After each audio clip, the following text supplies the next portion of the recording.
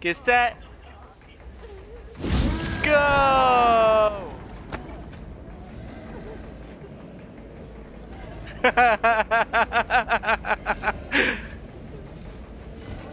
yeah!